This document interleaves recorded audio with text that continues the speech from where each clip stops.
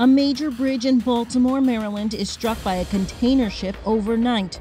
Now the search is on for survivors after parts of the Francis Scott Key Bridge snapped off, sending vehicles and some road crew workers into the water. Discussion right now should be about the people, the souls, the lives that we're trying to save. Uh, there will be a time to discuss about a bridge and how we get a bridge back up. But right now, there are people in the water that we have to get out, and that's the only thing we should be talking about. I wanted to know what the bang was. Ship hit the Key Bridge, sinking. The bridge is gone.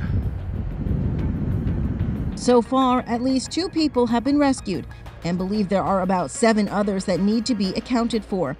The port, a major shipping hub in the Northeast, has also been temporarily closed. This is Inside Edition Digital.